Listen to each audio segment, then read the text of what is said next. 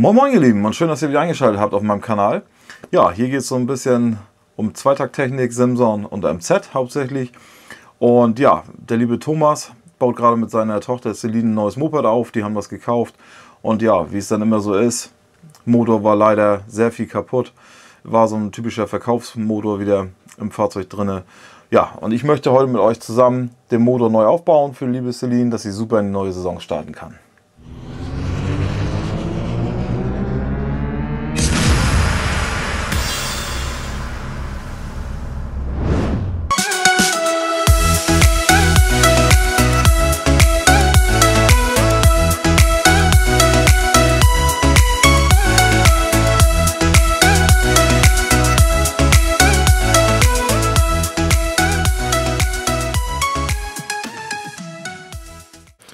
Ja, das ist der Motor vom lieben Thomas.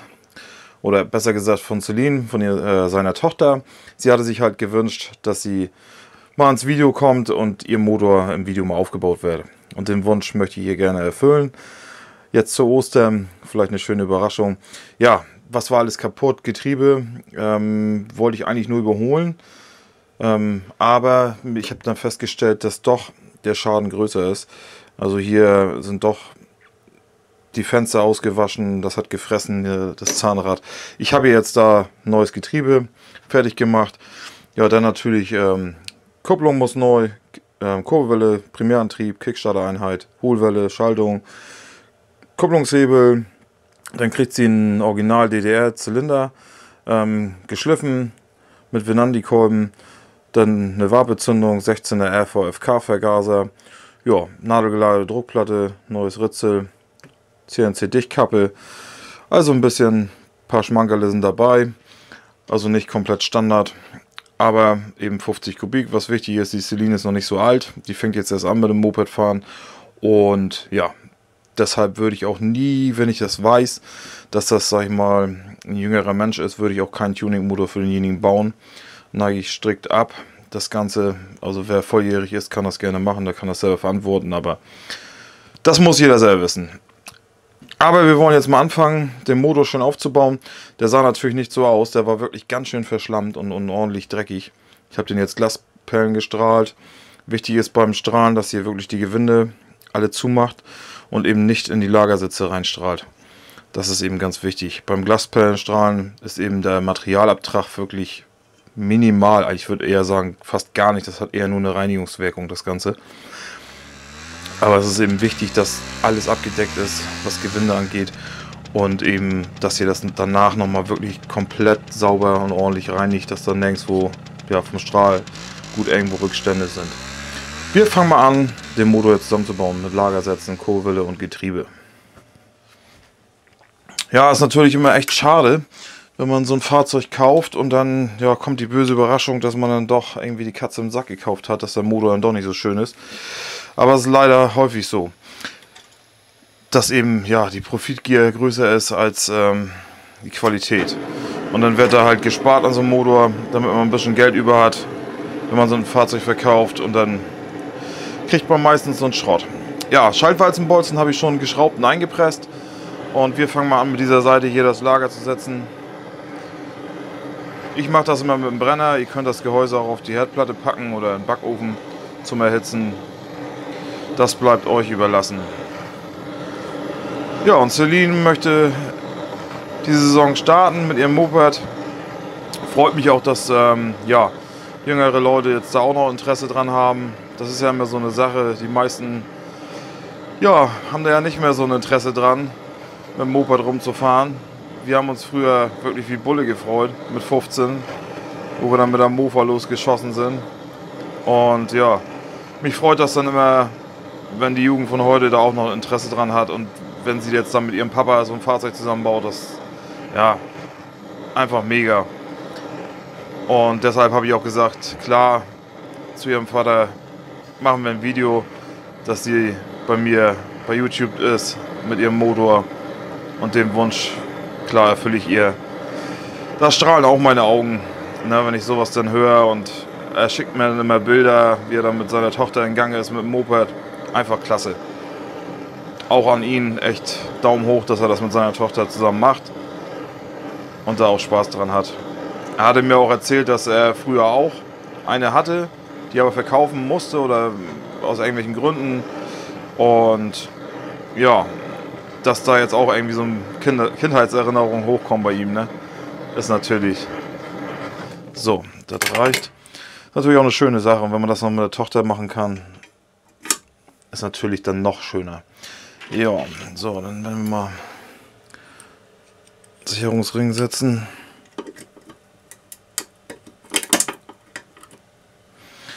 Und dann machen wir drüben weiter. Ich hatte vorher schon mal geguckt mit meinen Lagerdummies, ob die Welle, Kurbelwelle mittig im Gehäuse sitzt. Das tut sie aber, dass ihr da vorher mal einmal guckt. Bei den Originalgehäusen passt das meistens, dass die Welle nachher hier mittig im Gehäuse sitzt. Aber bei den Zubehör ist manchmal so eine Sache. Ich nehme dann meine Lagerdummies, kriege die auch bei mir im Shop, um das eben auszumitteln. Ja, mit dem heißen machen, das ist so eine Erfahrungssache. Ich fange da jetzt nicht mit dem Thermometer an oder sowas. Wenn ihr so einen Motor natürlich machen wollt selber, dann macht das lieber ein bisschen mit dem Thermometer, so ca. 110 Grad. Sollte das Gehäuse schon haben. Bei Nachbaugehäusen muss man ab und zu teilweise ein bisschen mehr Hitze reinbringen, weil die sehr passiv sind. Und deshalb müsst ihr da mal ein bisschen ausprobieren, wann das Lager da reingeht.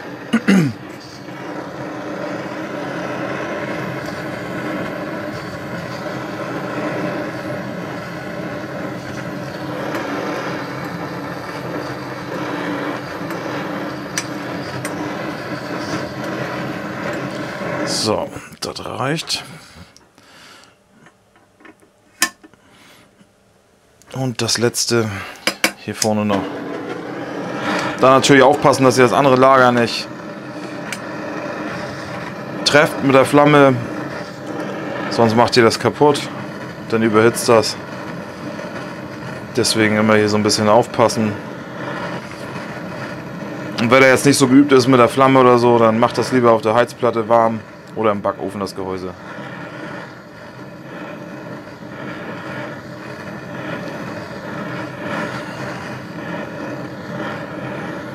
Und das ist auch so ein bisschen immer, das wird immer so heiß gekocht, die ganze Geschichte, 10 Grad mehr oder weniger.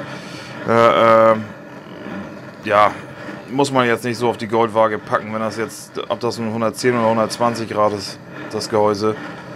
Ähm, ja, das spielt ja auch keine Geige. Man sollte es natürlich nicht zu stark erhitzen, aber die Leute. Na, jetzt muss ich hier einmal nachhelfen mit der Schlaghöse. Da bitte nur mit Schlagwerkzeug. So, jetzt sitzt das. Das Ganze machen, dass ihr eben die Kraft verteilt aufs ganze Lager und nicht, ähm, ja, da jetzt mit dem Hammer einseitig schlagt oder so. Das ist natürlich nicht gut. Da müsst ihr mal ein bisschen aufpassen. Ja, wir werden uns jetzt mal die Kurbelwelle setzen. Na, der zündet nicht richtig. Jetzt muss ich gleich mal neue neue äh, Gaskartusche mal einsetzen.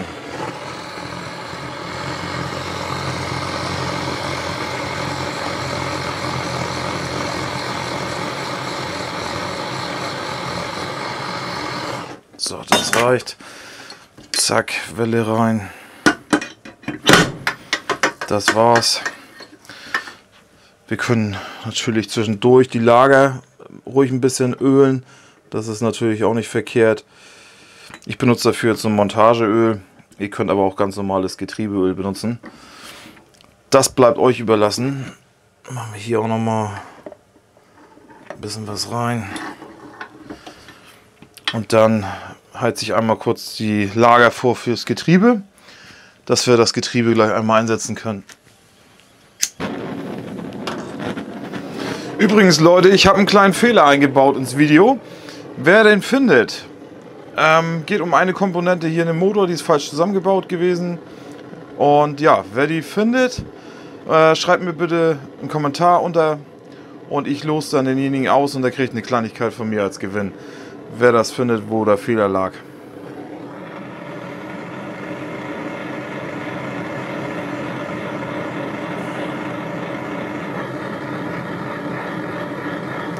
Also wer genau hingeguckt hat, dem ist das vielleicht aufgefallen, dass ein Bauteil nicht richtig war zum Einbau. So, dann setzen wir uns jetzt das Getriebe hier rein. Ein bisschen klopfen. Das sitzt, dreht sauber. Ich habe natürlich vorher geguckt, dass das ja auch vernünftig ausgeglichen ist, dass eben ja die Getrieberäder auch miteinander fluchten. Kickstarter-Ritze natürlich einlegen, nicht vergessen. Und immer kontrollieren, ob alles schön flutschi-mutschi funktioniert, ob sich das sauber drehen lässt. Das ist eben halt wichtig. Ja. Nicht, dass es da schon zu Verspannung kommt und ja, ihr setzt nachher alles zusammen und dann ist alles verspannt, wenn das Gehäuse dann die andere Gehäusehälfte drauf kommt. Deshalb immer vorher nochmal kontrollieren. Ja, ich packe die andere Gehäusehälfte auf die Heizplatte. Die kann schön durchtempern. Die anderen Lager können wir uns hier noch setzen. Na, bleib hier. Dass wir die einmal aufsetzen.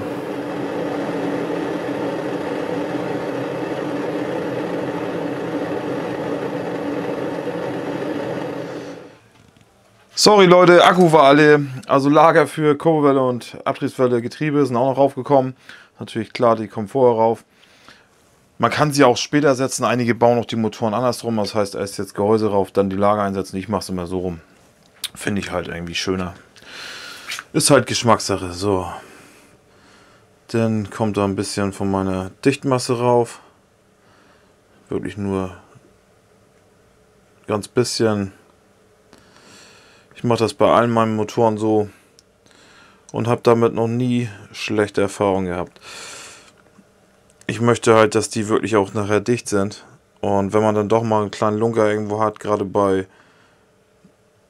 älteren Gehäusen, also gebrauchten, kann das doch schon mal sein, dass irgendwo eine Unebenheit ist. Und das möchte ich halt hiermit ausschließen, dass da irgendwo was nachher undicht wird. Das wird natürlich der super GAU. Jo, dann legen wir schon mal die Dichtung auf. Gehäuse ist auf der Heizplatte, wärmt jetzt vor und wir können dann eben gleich das Ganze hier zusammensetzen. Die Seite natürlich auch noch ein bisschen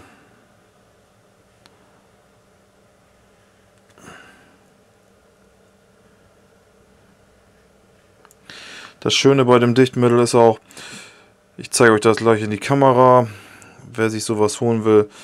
Das kostet zwar ein paar Mark, aber ihr habt halt den Vorteil, wenn irgendwo mal ein bisschen was reinquillt oder so, ist es halt nicht schlimm. Bei Silikondichtmasse bin ich irgendwie nicht so der Freund von. Ähm, klar habe ich damit früher auch gearbeitet, brauchen wir uns ja nichts vormachen, aber ich bin irgendwann auf diese Dichtmasse umgestiegen von PTEC, Flächendichtung. Weil ich sie halt schöner finde. Das mit dem Silikon, dass das, ja, matscht nachher alles rum und hängen dir überall die Würste rum und so. Das ist nicht so meins. Und hier kannst du halt wirklich sauber nachher abwischen, das Gehäuse. Und ja, selbst wenn ein bisschen was reingeht, ist das nicht schlimm, dass da irgendwie was passiert. Bei dem anderen ist es doch, ja, auch eine optische Sache, finde ich. Und verarbeitungstechnisch ist es halt schöner hier, das hier. Ja, kostet aber halt auch ein bisschen mehr. Aber daran soll es nicht scheitern, denn ich will das ordentlich haben. Und da kommt das dann auf den Euro auch nicht drauf an. Getrie äh, ja, die Gehäusehälfte ist jetzt auf Temperatur gleich. Ich muss euch mal ein bisschen hier rüber nehmen, weil ich hier gleich ein bisschen Platz brauche zum Klopfen. Schrauben fürs Gehäuse habe ich hier auch schon liegen. Das muss gleich eh. Also ich ziehe das einmal kurz an, handwarm und dann muss es eh abkühlen und dann wird es nachgezogen, weil eben das Gehäuse jetzt sich ausdehnt durch die Hitze und wenn wir das jetzt aufsetzen und gleich anziehen würden und dann nicht nochmal nachziehen würden, kann das sein, dass das wieder bei Kälte geschrumpft ist leicht und dann eben die Schrauben nicht die richtige Vorspannung haben, wie sie haben sollen. Ja, Gehäuse ist auf Temperatur. Dann können wir uns das jetzt hier aufsetzen. Wie gesagt, wichtig, Kickstarter-Ritze, dass das drin ist. Achtet darauf, dass das eben alles safe ist.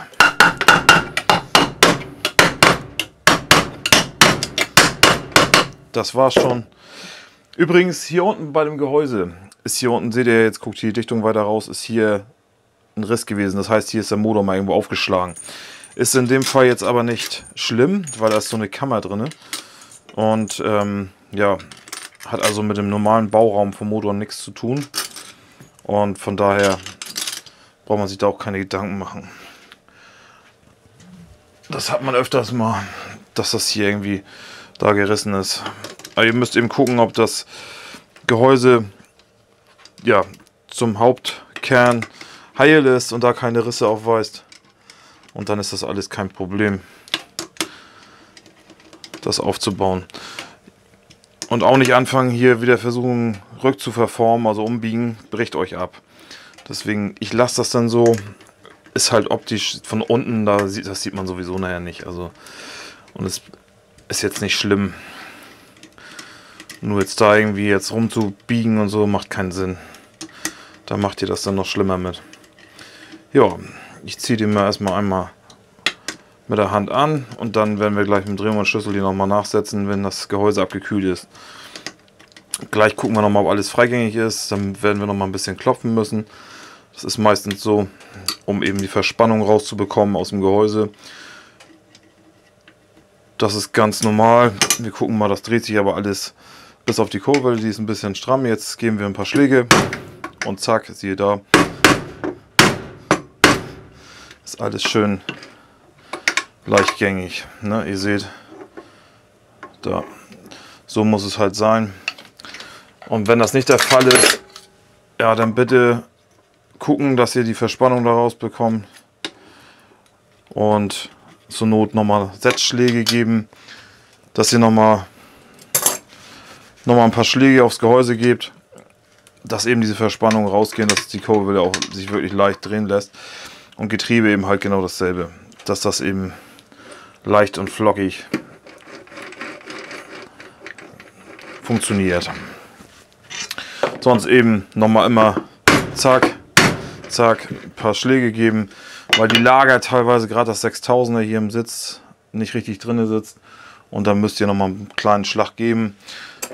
Ja, das ist immer auch abhängig vom Gehäuse. Bei originalen Gehäusen geht das immer sehr gut. Nachbau ist auch wieder so eine Sache, dass die teilweise sehr stramm sitzen. Ja, ich lasse das jetzt abkühlen. Dann werden wir hier Ölleitscheibe kommt dann hier rein. Und dann müssen wir es hier noch ausgleichen und dann setze ich die Wellenlichtringe und Dichtkappe und dann machen wir mit dem Primärantrieb und Kupplung weiter. Ja, Gehäuse ist abgekühlt, dann können wir das jetzt einmal mal nachziehen. Ich benutze einen Drehmomentschlüssel 9 Newtonmeter, 9 bis 10. Dass ihr das einmal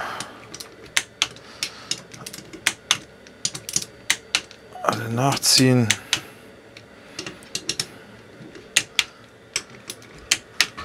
Und dann können wir Ölleitscheibe reinsetzen. Ich habe mir das jetzt schon ermittelt, welches Maß ich brauche. Kommt eine Ausgleichsscheibe hier rein. Und dann eben der Sicherungsring. Scharfe Kante zu euch. Wie gehabt. Zack. Und das muss ich halt leicht flutschig noch bewegen lassen. So mache ich das immer. Dann passt das. Hinten auch ausgleichen. Und dann eben Dichtkappe CNC mit Dichtring aufsetzen. Ich drehe die mir so ein bisschen schräge rauf. Und dann passt die Geschichte. Jo. So, dann wollen wir die einmal anziehen, darauf achten, dass die wirklich mittig sitzt, sonst reibt sich nachher der Wellenlichtring auf. Habe ich in anderen Videos auch schon mal erwähnt, dass sonst eben der auf einer Seite stramm anliegt und dann ist die Belastung da zu hoch und dann reibt er sich da kaputt. Deswegen eigentlich die Dichtkappen müssten eigentlich auch flach sein oben. Das wäre schöner, dass man da gar keine Senkung reinmacht. Gefällt mir immer besser. Dann kann man das doch noch schöner ausgleichen. So, dann ziehen wir die einmal an. Das war's schon. Das sieht gut aus. Nochmal gucken, ob sich alles schön frei dreht. Dann können wir jetzt Wellenlichtringe setzen. Ich nehme hier immer noch mal ein bisschen Buchsen-Lagerkleber. Kennt ihr auch aus anderen Videos. Jetzt bitte keine Kommentare, warum Buchsenlagerkleber. Es funktioniert einfach. Ich habe den hier ein bisschen eingeölt innen drin. Es funktioniert mit dem Buchsenlagerkleber und fertig aus. Ende im Gelände. Ob das nun dafür geeignet ist, spielt eine andere Rolle. Ja, ich nehme mein Schlagwerkzeug. Damit haben wir den sauber eingesetzt, den Wendigring. Dann gehen wir auf der anderen Seite, da geht es weiter. Nicht vergessen, hier Sprengring oder Sicherungsring setzen. Und eben auch den Wellendichtring hier.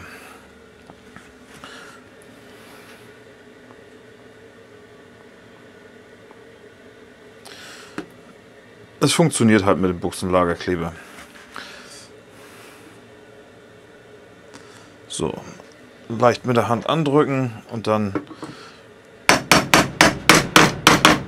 mit dem Schlagwerkzeug einsetzen. Geht wunderbar. Nochmal abwischen hier und schon haben wir das ganze Flutschi-Mutschi eingebaut. Ja, dann können wir jetzt weitermachen mit der Kickstarter-Einheit. Die setze ich jetzt erstmal ein. So, sieht das Ganze aus. Dass wir uns das hier einmal einsetzen. Ich nehme euch hier mal ein bisschen dichter mit ran, dann seht ihr ein bisschen besser was. Ich muss immer gucken, dass ich mir nicht den Weg versperre hier. So, dann spannen wir uns die einmal vor. So, die Schraube. Ist jetzt natürlich mit einer Hand ein bisschen schwierig, aber von der Seite jetzt hier. Aber auch das kriegen wir hin. Na, was ist jetzt hier? Sitzt die nicht richtig drin oder? Mensch. Was ist hier los? So, jetzt. Die saß nicht richtig in ihrer Führung. Immer noch nicht da soll die eigentlich gar nicht sitzen. Die muss da dran vorbei. Ah, das ist manchmal... So, jetzt.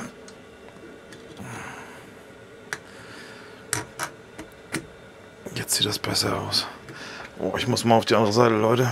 Das ist als Rechtshänder von der Seite hier ist wirklich blöd.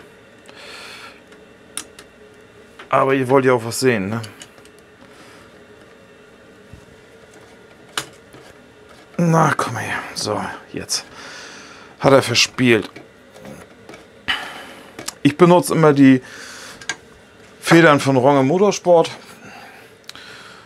In meinen Augen auf dem Markt die besten. Weil die, die es sonst so gibt, die sind teilweise viel zu dick. Und dann habt ihr Probleme hier mit der Schalt, mit der Hohlwelle, mit der Schaltwelle. Wir können das jetzt mal kurz testen, dass die eben relativ spielfrei da auch drauf sitzt dass dann nichts irgendwie wackelt. So, ihr seht, fast kein Spiel. Das liegt aber auch teilweise an denen.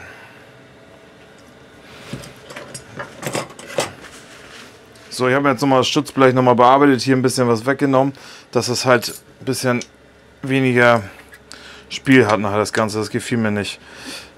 Das war mir doch ein bisschen zu viel Spiel von der Schaltung.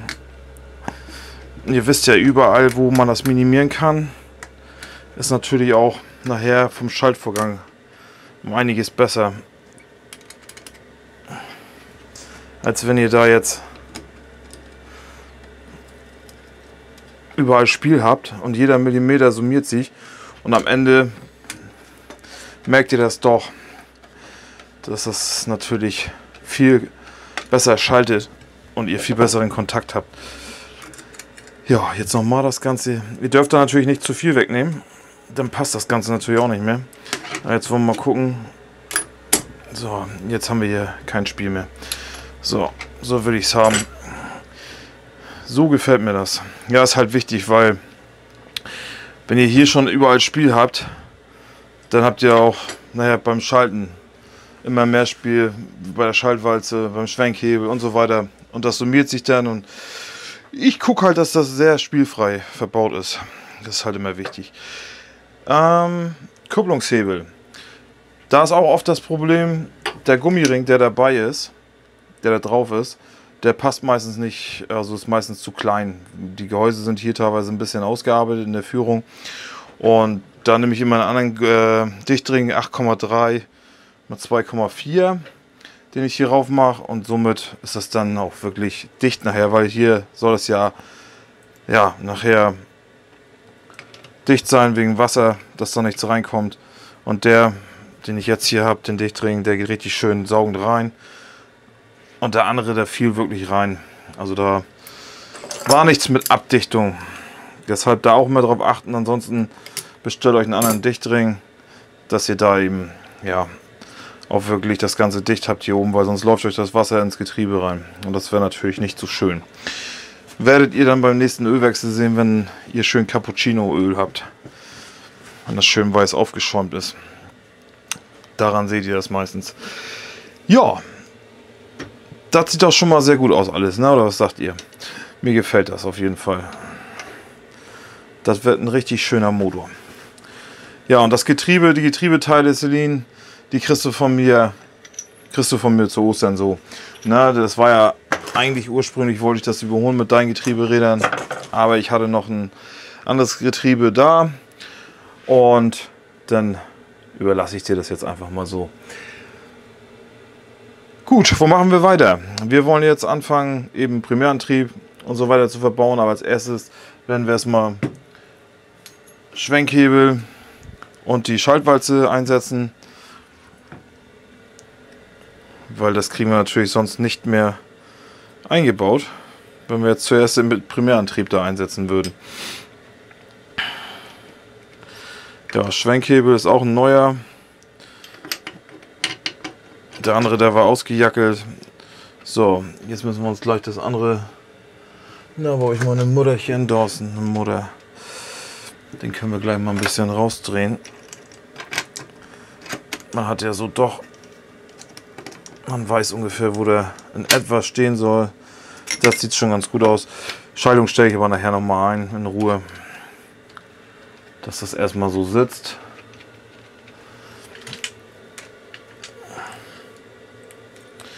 So, 13. Ziehe ich das erstmal kurz hier an. Und dann brauchen wir Ausgleichsscheiben. Oh, muss ich euch mal wieder beiseite nehmen. Ich schub's euch auch hier immer hin und her, wa? Naja, so ist das. Dass wir einmal das Axialspiel ausgleichen vom Schaltwalzenbolzen. Da müssen wir jetzt mal gucken, dass wir da so fast auf Null kommen. Das sollte schon sehr spielfrei sein. Da auch wieder, umso besser schaltet das Ganze nachher. Ja, der ist zu stramm. Das heißt, wir brauchen eine bisschen dünner ist. Na, komm raus hier. Edelstahl, nichts magnetisch.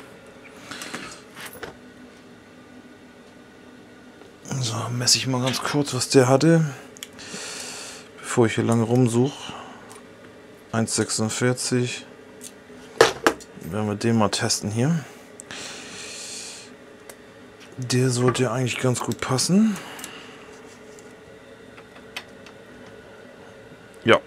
Der ist perfekt. Gut, dann kann ich jetzt hier ein bisschen Schraubensicherung drauf machen, dass sich da nichts mehr löst.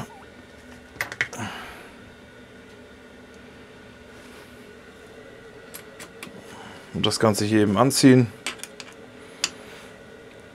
So, und der hat kein Spiel. Das ist wunderbar. Ja, dann können wir uns die anderen wegpacken. Ich habe immer in sämtlichen Dicken alles da. Seht ihr ja in verschiedenen Ausführungen.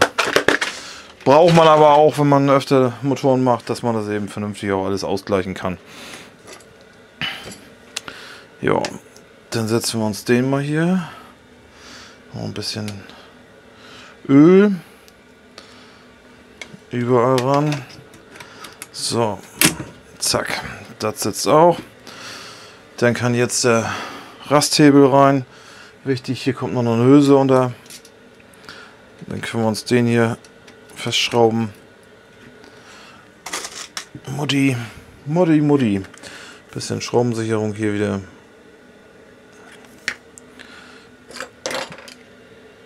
Und dann kommt gleich noch eine neue Feder rein. Und dann, Leute, können wir nämlich die Kupplung montieren. Ich habe auch das Kupplungspaket nochmal zerlegt und nochmal alles geölt. Die kommen meistens trocken, finde ich nicht so schön. Und auch nochmal ausgerichtet, dass nachher beim Zusammenbau das auch wirklich passt. Dass da eben, ja, nichts irgendwie verspannt oder verklemmt ist.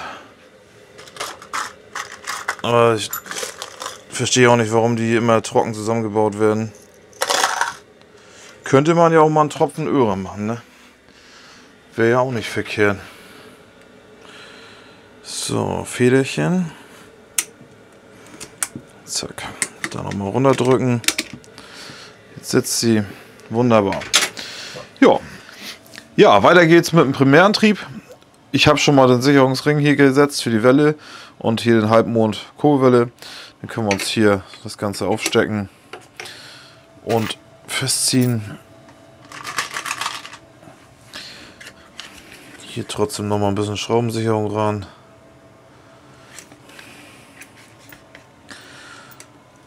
Und das Ganze festschrauben. Ich blockiere das mal hier. Dann geht's hier weiter.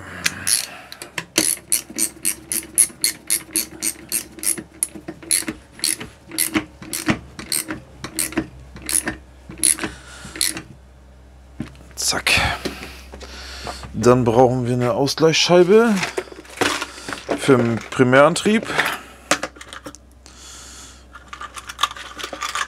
Mal gucken, was wir hier nehmen.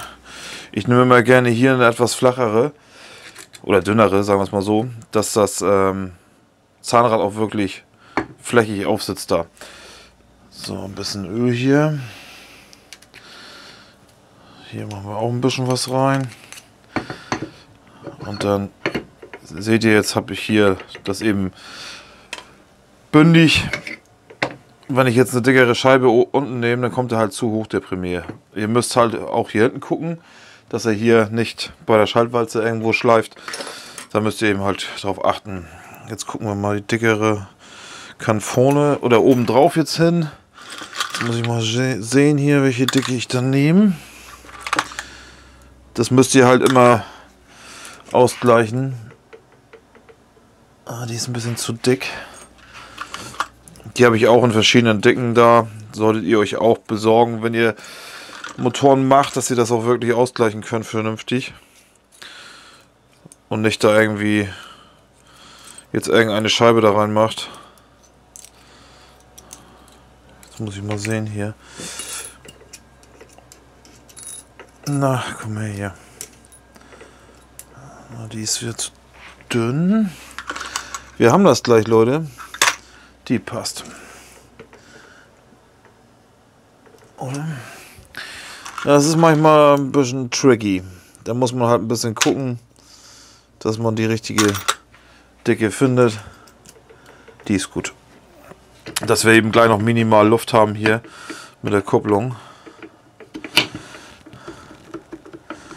Ja, Axialspiel ist minimal da. Könnte aber noch ein bisschen weniger sein. Das ist ein bisschen viel. Da muss man halt so ein bisschen schauen. Jetzt muss ich mal, jetzt messe ich das Ganze mal fix, damit ich hier nicht ewig rumsuchen muss. So, ein Millimeter hat die.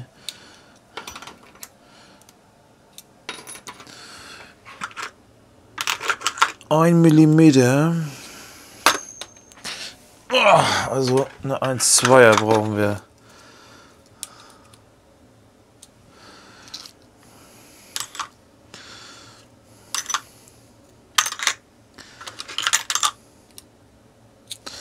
So, die, das sollte jetzt funzen.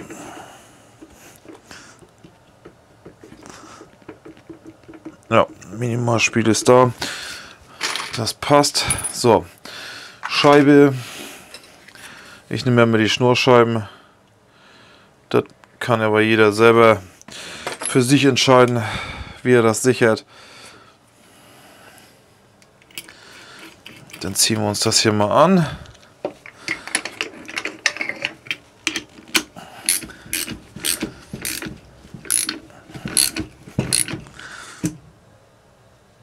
Zack, das war's. Minimalspiel ist da. Das reicht. Das passt. So. Da noch. Gut, dann können wir jetzt die nadelgelagerte Druckplatte und die Druckstange einsetzen. So, da sind sie. Druckstange und die nadelgelagerte Druckplatte. Hier natürlich auch wieder Öl auf die Druckstangen rauf, dass die ein bisschen vorgeölt sind.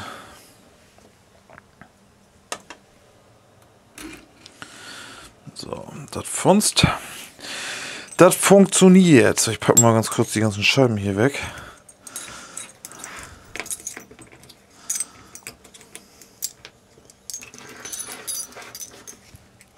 Zack, wieder in die Kiste rein. Nadellager von der nadelgelagerten Druckplatte kriegt natürlich auch ein bisschen Öl. Das ist logisch. Dann setzen wir uns das hier einmal zusammen. Ich probiere jetzt erstmal die kurze Variante.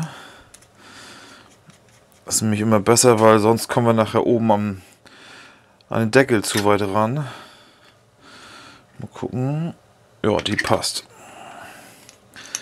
Das sollte funktionieren. Versuche natürlich immer so wenig wie möglich hier rauszukommen, weil sonst habt ihr manchmal das Problem, ah, das passt, können wir da sogar noch ein bisschen lockern, habt ihr das Problem, dass das eine, beim Kupplungsdeckel bei der Kunststoffschraube schleift. Das wollen wir natürlich nicht. Jetzt muss ich mal gucken, wo wir hier die kleinen Sicherungsblechchen haben.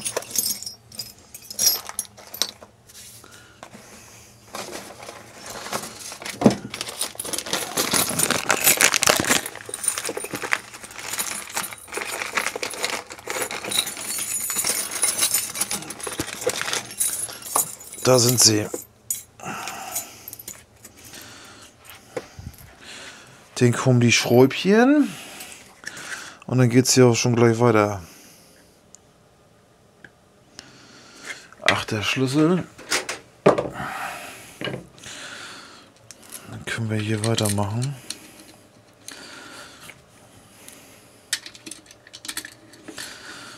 Man könnte das auch ohne die Bleche jetzt mit Schraubensicherung Aber ich mache das jetzt so. Ist ja auch so vorgesehen bei der Venandi Druckplatte. Und dann machen wir es auch so.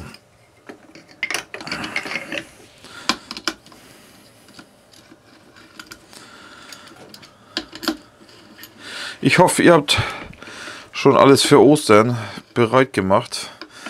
Denn heute ist ja Ostern und ich hoffe, ihr seid ordentlich am am Suchen mit den Kindern, dass der Osterhase fleißig war.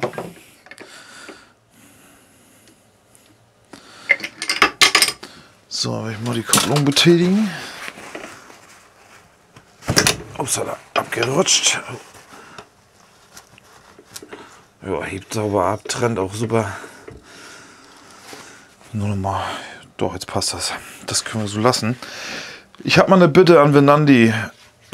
Vielleicht sehen ja irgendwelche das Video. Den Schlüssel, den ihr dazu packt, immer. Ähm, ja, der ist für die Mülltonne. Wirklich, damit kannst du nichts anziehen, weil er sofort kaputt ist. Ich weiß, sie soll jetzt auch nicht mega festgezogen werden, hier die Mutter, zum Kontern. Aber man kriegt nicht mal die einigermaßen angezogen mit dem Schlüssel, der dabei ist. Ich kann es ja mal ganz kurz demonstrieren. Ne, wir nehmen jetzt mal den von Venandi hier und ziehen wir hier an. Zack, übergedreht und der Schlüssel ist komplett aufgegangen. Also Trompetenblech, sage ich dazu immer. Ist natürlich dann ärgerlich für denjenigen, der das machen möchte, hat keinen anderen Schlüssel da. Der steht dann natürlich da wie so ein Blödel und muss sich irgendwas überlegen, wie er das Ganze ja, im Endeffekt dann kontern kann oder festhalten kann hier. Ist natürlich dann nicht ganz so schön. Deswegen packt da doch bitte wie andere Hersteller auch einen vernünftigen Schlüssel mit bei, dass man da jedenfalls die Mutter mit festkriegt. Das wäre ganz praktisch, dass das ja auch funktioniert, das Ganze. Ja, den Part hätten wir auch erledigt. Kupplungshebel steht gerade aus 90 Grad zum Gehäuse. Ja, dann setzen wir jetzt mal die Dichtung auf und dann werden wir den Kupplungsdeckel mal aufsetzen. Aber bevor wir das jetzt machen, werde ich erstmal ganz kurz das Getriebe einstellen, weil das ist ein bisschen einfacher. Wenn man das jetzt noch offen hat, dann kann man besser oder kann ich immer besser sehen, was da los ist. Das gefällt mir immer ein bisschen schöner. Dass man da eben sieht, was man da einstellt.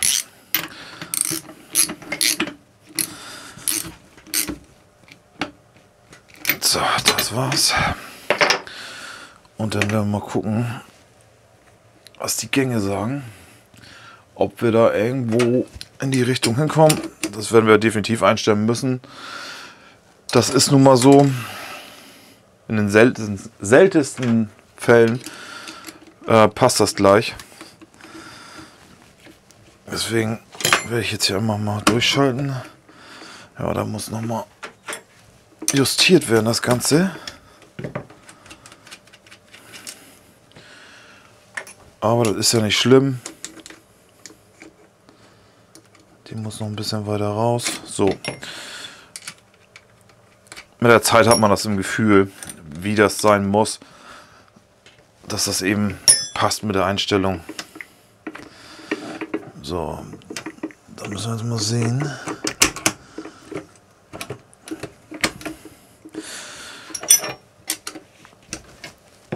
Dass wir den einmal hindrehen. Na.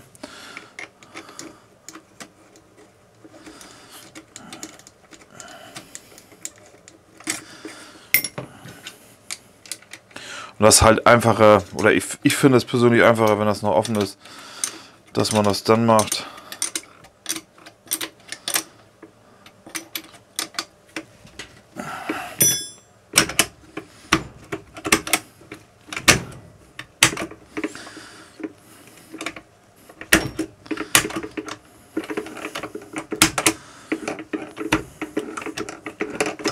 ist natürlich, als wenn das trocken ist, aber gehen.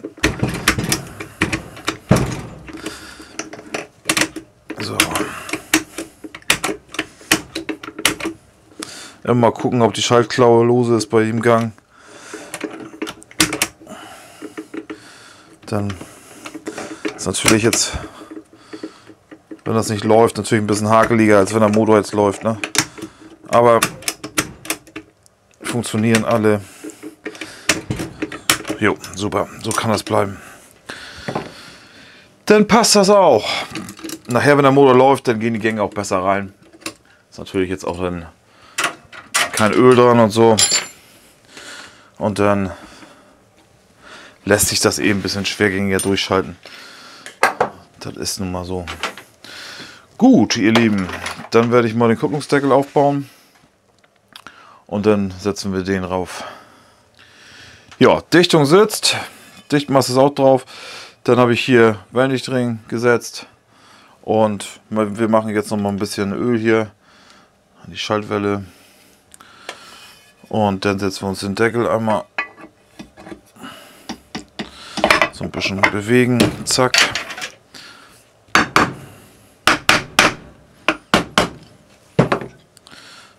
Schräubchen rein.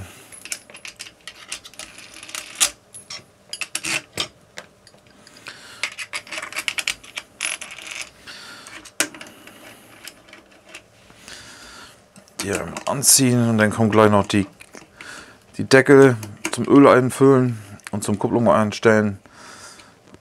Gut, in dem Fall müsste man jetzt eh den Deckel runternehmen, den Kupplungsdeckel, wenn man die Kupplung nachstellen möchte.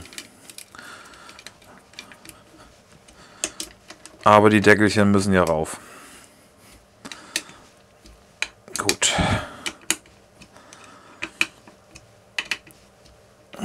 Die Schrauben wirklich nur so handwarm anziehen, dann hier so ein bisschen die Dichtmasse, was da rausgekommen ist, wegnehmen. Und die beiden Schräub äh, Kappen oder Dichtkappen. Sogar aus Aluminium, Aluminium bekommst du von mir ja welche.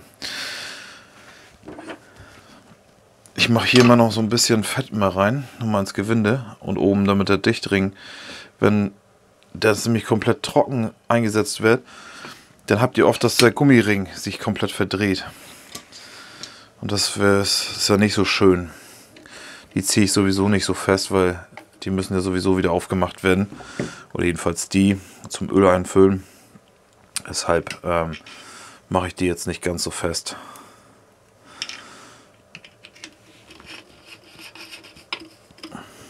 Zack. Zacki, zack. So, Fett ein bisschen wegwischen. Ja, sieht doch schon wunderprächtig aus, muss ich sagen. Gefällt mir richtig gut.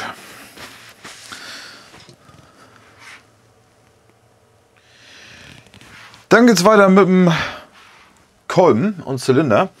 Einmal das Nadellager ein bisschen einölen hier. Ihr könnt auch normales Zweitaktöl nehmen hier.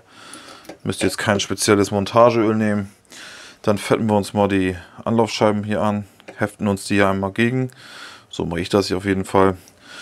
Man kann die auch von der Seite reinschieben, aber ich finde das immer ein bisschen fummelig. Deswegen mache ich das immer so. So, dann setzen wir uns den Kolben an. und schieben uns den Kolbenbolzen einmal durch. Da auch ein bisschen Öl oder Montageöl ran. Zack, das war schon.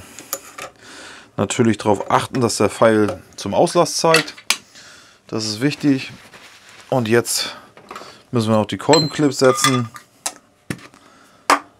Ich habe dafür extra ein Werkzeug. Habe ich auch ein extra Video zu bei YouTube. Wer da Interesse dran hat, Deswegen gehe ich da jetzt nicht so näher drauf ein. Ist auf jeden Fall von Naraku so ein Werkzeug, wo man dann den Kolbenclip, den C-Clip damit montieren kann. Ist halt ein bisschen einfacher die Geschichte. Jetzt gucke ich nochmal, ob da wirklich auch die Öffnung nach oben sitzt. Wobei die C-Clips, ich mache sie trotzdem immer nach oben oder eben nach unten die Öffnung. C-Clips, dass die rausspringen, ist schon sehr unwahrscheinlich. Also die normalen, ja, kann mal passieren, wenn die falsch montiert sind oder wenn die Vorspannung kaputt gemacht wurde. Ähm, man sollte auch nicht da anfangen, die wieder aufzubiegen, die Vorspannung wieder herzustellen und dann wieder verwenden, dann lieber neue. Ja, seht ihr überhaupt was? Ja. Der sitzt auch. Jetzt gucke ich nochmal. Ja, Öffnung ist nach oben. Perfekt. Ja, machen wir hier ein bisschen Öl drauf. Das reicht schon. Das ist wirklich nur, dass das leicht benetzt ist hier das Ganze. Immer noch mal kontrollieren, ob die Anlaufscheiben auch wirklich drin sitzen. Ähm, denn das kann auch mal passieren, dass die mal runterrutschen.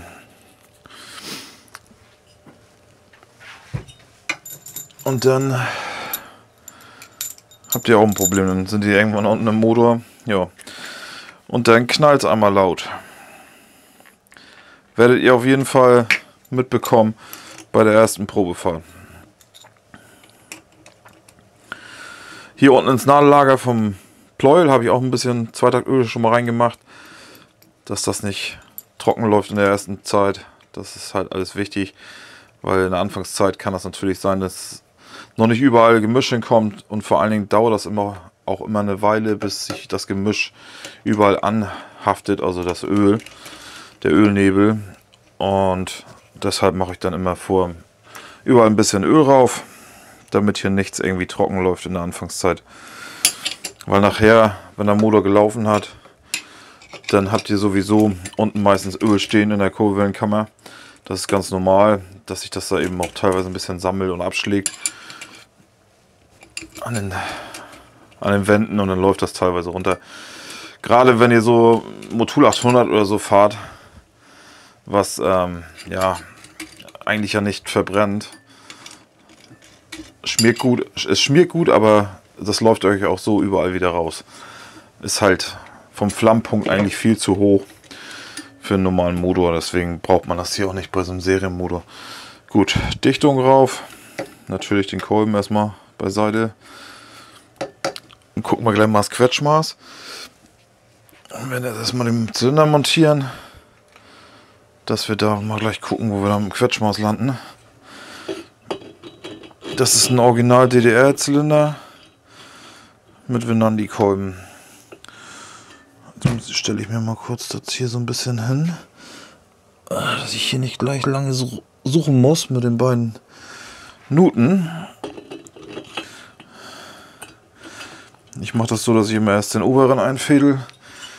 Dann drehe ich mir das hier einmal so um. Dann die untere Nut. Und dann setzen wir ihn drauf. Das war's schon. Dann machen wir uns hier mal eine Mutter drauf, dass wir hier den Motor durchdrehen können. Und dann werden wir gleich den Zylinderkopf montieren. Und eben einmal schauen, wie das Quetschmaß ist.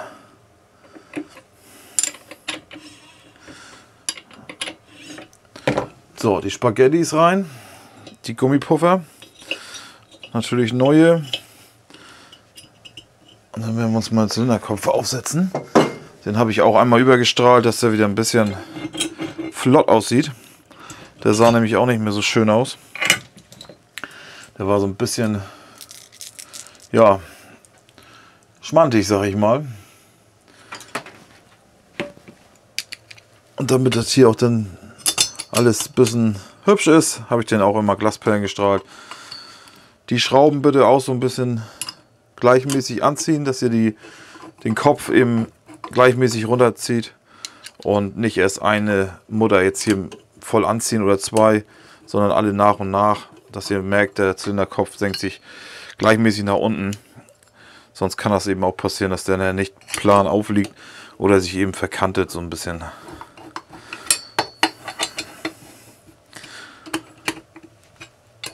Dann ziehe ich den gleich einmal mit Drehmoment an. Ich nehme 10 Newtonmeter. Da streiten sich auch die Gelehrten, ob nun 7 und so weiter. Wir machen jetzt hier mit 10.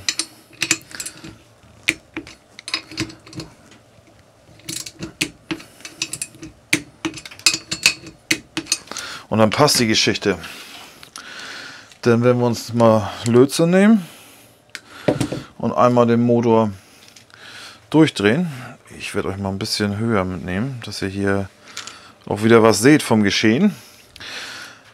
Ja, so biegen, rein, gucken, Kolben ist unten. So, dann führen wir uns das hier ein. Ich mache immer zu der Längsachse, zum, also zum Kolbenbolzen. Dann gucken wir mal, was wir hier haben.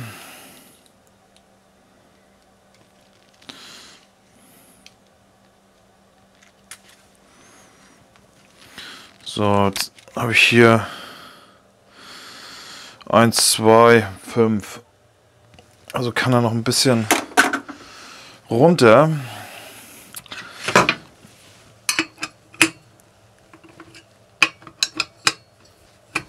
Dann müssen wir also eine dünnere Dichtung nehmen unten.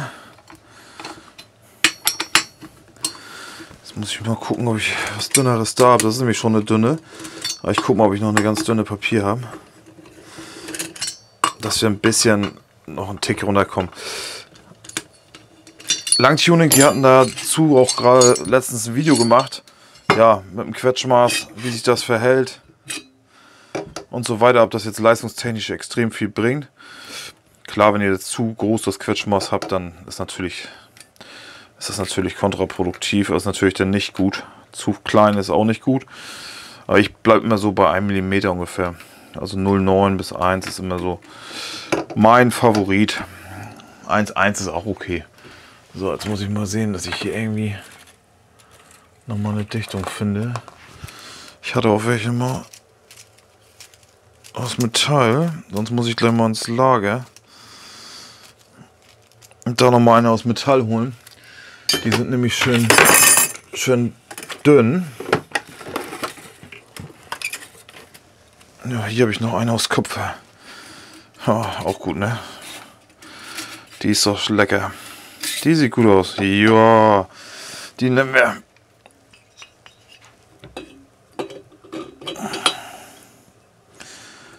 Die sieht prächtig aus. So, Zylinder wieder rauf. Und das Ganze nochmal wieder. Und dann wollen wir mal schauen, wo wir landen. Na, da sitzt noch nicht richtig drauf. Jetzt.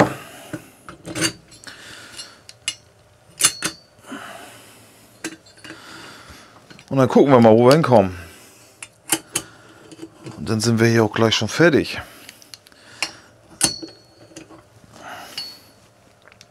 Da wird sie sich auf jeden Fall freuen. Na, bleibst du hier? Da wird sie sich auf jeden Fall freuen, dass ich ihr zu Ostern so ein schönes Video gemacht habe. Hoffe ich jedenfalls. Das will ich doch hoffen. Ist auch ein sehr schöner Motor geworden jetzt. Da wird sie lange Freude mit haben. Und das ist auch das, was ich immer möchte. Ne, dass man damit lange Freude hat. Und mit ruhigem Gewissens auch fahren kann. Ne? Und nicht irgendwie Angst haben muss, man bleibt an der nächsten Kreuzung wieder stehen, weil irgendwas kaputt gegangen ist oder wenn man eine Ausfahrt jetzt macht im Frühjahr, ist natürlich dann ärgerlich, wenn man da nicht mitfahren kann, weil irgendwas wieder versagt hat. So, dann werden wir jetzt mal gucken, wo wir da jetzt landen. Ja, guck mal Leute, jetzt haben wir 1.03. Perfekt. Perfekt, das ist doch super. Damit kann ich mich zufrieden geben.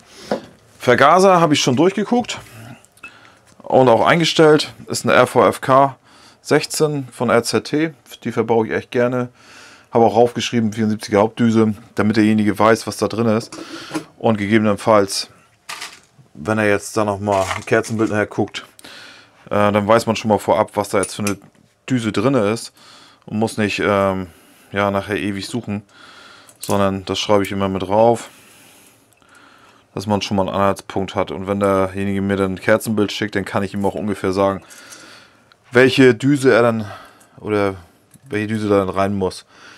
Das ist halt immer auch abhängig. Ich kann das jetzt hier von hier aus nicht abstimmen oder irgendwas, weil das natürlich auch immer abhängig ist, wo wohnt derjenige, welche Höhenlage und so weiter, was für ein Auspuff, Luftfilter. So, die nicht ganz so fest hier, sonst zieht ihr euch den ganzen Vergaser krumm, den Flansch. Ja. Jetzt haben wir es. Na. Dann wollen wir die Zündung noch mal raufsetzen. Dann müssen wir mal ganz kurz die Mutti einmal lösen. Zack, das war's schon. Dann müssen wir uns hier aber noch mal einen Halbmond reinsetzen. Ich hole mal kurz einen Halbmond und dann machen wir hier gleich weiter. Dann geht es weiter mit der Zündung. Hier kommt ein Dichtnubbel rein. Ich mal gucken, wo ich welche habe. Ähm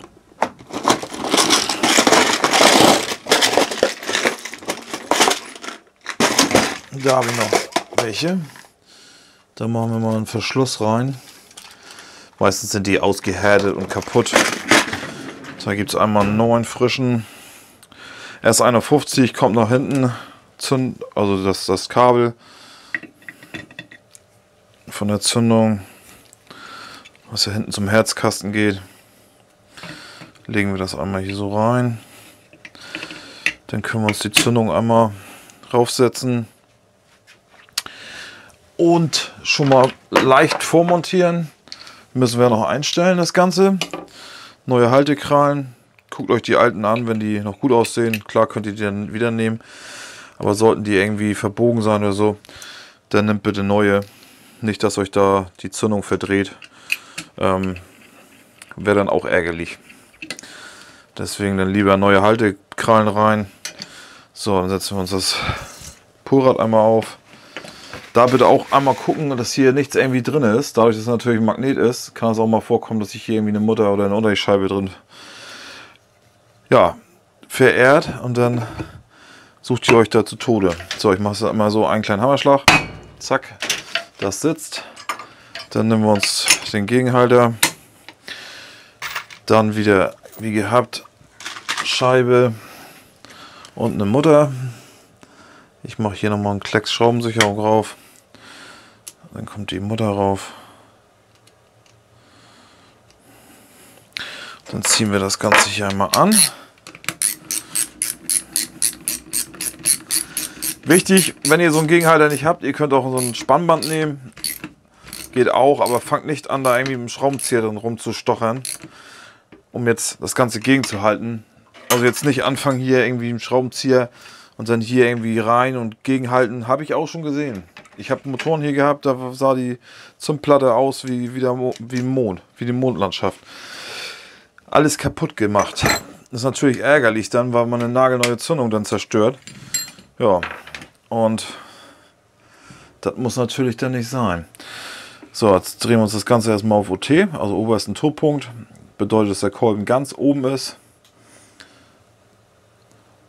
und sich am im Umkehrschluss befindet, dass er wieder in die Abwärtsbewegung geht. Jetzt haben wir ihn auf 0 und 1,5 kriegt er das 1, 1,5. Dann schaue ich, ob die Markierung passt. Die müssen wir natürlich hindrehen, dass sie auf Strich steht und nachher am besten immer noch mal abblitzen das Ganze, weil das kann auch mal sein, dass die Markierung nicht ganz stimmt hier. Und dann verlasst ihr euch nämlich hier auf das, was hier steht, laut Zeiger oder Markierung von der Zündung. Und das stimmt gar nicht. Es gab da mal einige. Also jetzt mittlerweile ist das wohl nicht mehr der Fall. Aber ich hatte schon mal zwei, wo das nicht stimmte, die Markierung. Deshalb immer noch mal abblitzen. Dann seid ihr auf der sicheren Seite. Gut. Und zum Schluss, was kommt noch, Leute? Eine frische Zündkerze. Und im Grunde kann man sagen, ist das eigentlich ein komplett neuer Motor. Also von den Bauteilen her. Ich mache hier auch immer noch mal so ein bisschen Montagefett aufs Gewinde, weil gerade wenn man den jetzt sag ich mal gewaschen hat und, und alles mögliche ist er sehr trocken. Also das Gewinde ist sehr trocken vom Zylinder und man möchte natürlich nicht, dass das irgendwie frisst oder so.